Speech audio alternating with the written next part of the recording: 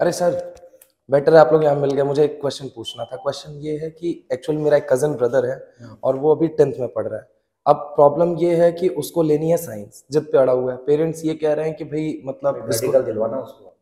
तो medical sir problem यही तो है पेरेंट्स बोल रहे हैं कि मतलब कर पाएगा या नहीं कर पाएगा आखिर पोटेंशियल कैसे चेक करें उसका? तो आप उसका टेस्ट ले लो कोई। अरे सर वो पढ़ने वाली बात ही नहीं है लेकिन करे तो करे कैसे? वो पता कैसे चले कि कर भी पाएगा या नहीं पता चले साइंस दिलवा दें? अरे इसका एक टेस्ट है एम वी सैट इसको ज़रूर दिलाओ। उससे बच्चे के एक्चुअल पोटेंशियल का पता चलेगा कि बच्चा एग्जिस्ट हाँ। कहाँ कर रहा है। उसकी साइकोलॉजी किस हिसाब की है।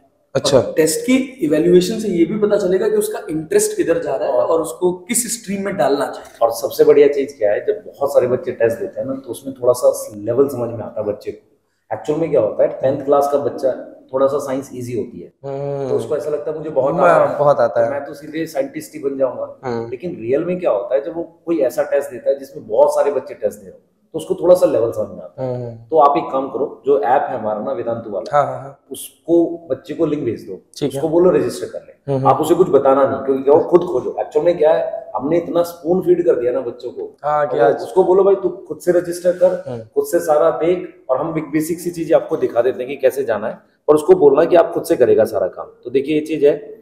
आ, ये है ऐसे ऐप में एमवी सेट आएगा। ठीक है?